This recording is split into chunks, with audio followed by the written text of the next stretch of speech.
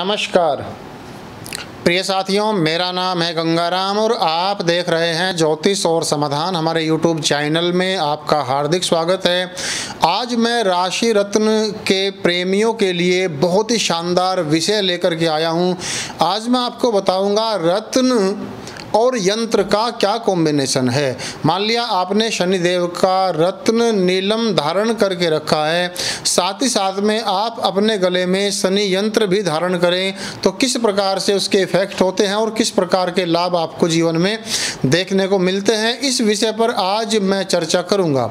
लेकिन इससे पहले मैं बात को आगे बढ़ाऊँ, मैं आपको बता दूँ, ज्योतिष के द्वारा अपनी समस्त प्रकार की समस्याओं के समाधान के लिए बहुत अच्छी श्रेणी के राशि रत्न खरीदने के लिए आप हमसे संपर्क कर सकते हैं। मेरा फ़ोन नंबर, मेरा व्हाट्सअप नंबर आप स्क्रीन पर देख रहे हैं।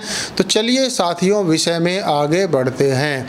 हमें रत्न और यंत्र के कॉम्बिनेशन को बहुत बारीकी से समझना होगा और इसके बड़े स्तर पर लाभ लिए जा सकते हैं। साथ ही साथ में किन लोगों को ज़्यादा फ़ायदा करता है, यह भी बताऊँगा। साथियों, रत्न ग्रह की शक्ति को बढ़ाता है। ग्रह की किरणों को सोख करके उसकी पावर को बढ़ाता है। मान लिया कोई ग्रह आपका अति बाल्यावस्था में है, कोई ग्रह आपका अति वृद्ध अवस्था में है, पाप दृष्ट है, पाप गर्तरी योग में है, पीड़ित है तो ऐसी अवस्था में जो ग्रह आपकी कुंडली में राजयोग कारक है, उस ग्रह का रत्न उसकी पावर को, उसकी ताकत को बढ़ाएगा। बात बहुत सीधी और साफ़ सुथरी है। लेकिन यंत्र यंत्र शब्द का अर्थ ही है कम मेहनत में ज़्यादा काम जिसकी सहायता से किया जा सके, उसको यंत्र कहते हैं। मोबाइल एक यंत्र है, कैमरा भी एक यंत्र है, पंखा भी एक यंत्र है, एसी भी एक यंत्र है, मोटरसाइकिल एक यंत्र है। मेहनत कम और काम ज़्यादा, जिस वस्तु की सहायता से होता हो, उसको यंत्र कहते पूर्व काल में हमारे ऋषियों ने बहुत सोच समझ करके यंत्रों का निर्माण किया था। यंत्र के द्वारा ग्रह की शक्ति को बांधा जा सकता है। उसको स्थायी किया जा सकता है अपने जीवन में।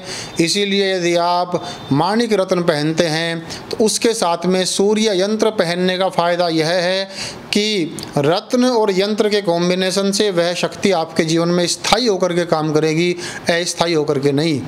आप मोती पहनते हैं तो चंद्रमा यंत्र जिस ग्रह का भी आप रत्न पहनते हैं, उसी ग्रह का यंत्र भी यदि साथ में एक ही लॉकेट में पहनते हैं तो ज़्यादा अच्छा रहेगा, नहीं तो रत्न को उंगली में और यंत्र को गले में भी धारण कर सकते हैं। रत्न ग्रह की शक्ति को पावर को बढ़ाएगा और यंत्र उस शक्ति को आपके जीवन में स्थायी करेगा, जिससे ग्रह की कृपा आपके ऊपर होगी और ग्रह के जो दुष्प्रभाव हैं, उस ग्रह के जो बैड इफ़ेक्ट हैं, वह कहीं ना कहीं दूर होंगे और उस ग्रह से संबंधित आपकी जन्म कुंडली में वह ग्रह जिन जिन घरों का मालिक है, जिस प्रकार से भी योग कारक है, जो भी आपकी जन्म कुंडली में उस ग्रह का काम है, वह प्रभाव को बहुत ज़्यादा बढ़ाएगा। तो साथियों यदि आप रत्न धारण करते हैं तो जिस ग्रह का आप रत्न पहनते हैं, उस ग्रह का यंत्र भी आप पहनेंगे तो आपके लिए बहुत अच्छा रहेगा। कामना करता हूँ, छोटी सी जानकारी आपको अच्छी लगी होगी। वीडियो को लाइक करें, शेयर करें और चैनल को करें सब्सक्राइब। नमस्कार।